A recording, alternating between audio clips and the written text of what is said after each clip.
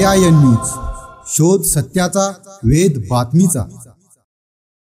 जालना जिल्ह्यातील जाफराबाद नगरपंचायत निवडणुकीत मतदार जनतेने राष्ट्रवादी काँग्रेसला सात जागा तर काँग्रेस आयला सहा जागेवर भरभरून यश दिले परंतु दोघात तिसरा म्हणून भाजपचे सर्वेसदा केंद्रीय राज्यमंत्री रावसाहेब दानवे ऐनवेळी काय खेळी खेळून काँग्रेस आयचे सहा सोबत घेऊन जाफराबाद नगरपंचायत आपल्या ताब्यात घेण्यासाठी जोरदार हालचाली करू शकतात अशी राजकीय गटातून चर्चा सुरू झाली आहे.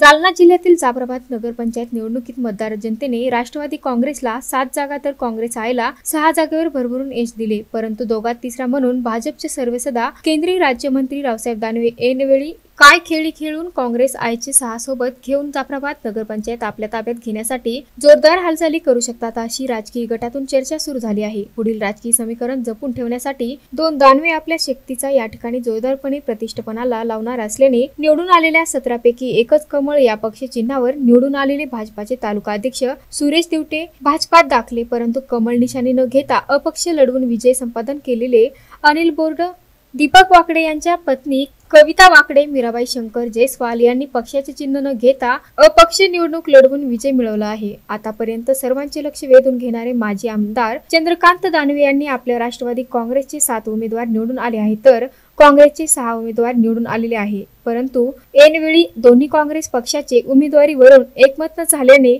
आमने सामने लढत होऊन जाफराबादच्या मतदार जनतेने आपले लोकप्रतिनिधी निवडून दिले. आता नगराध्यक्ष पदासाठी रसिकखेच दोघांच्या समोर मोठे आव्हान आहे.